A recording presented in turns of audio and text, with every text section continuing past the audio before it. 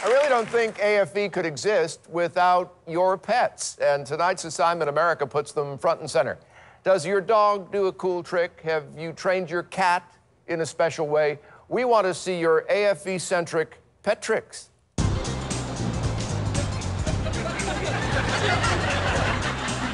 Okay. Okay. Rescue. Flip. Flip, buddy. Flip. Good boy. Good flip. Good, good boy. So, if your dog or cat or bird does a trick, get it on camera, get it in here, and maybe your next trick will be rolling in cash. Jess, tell them what to do.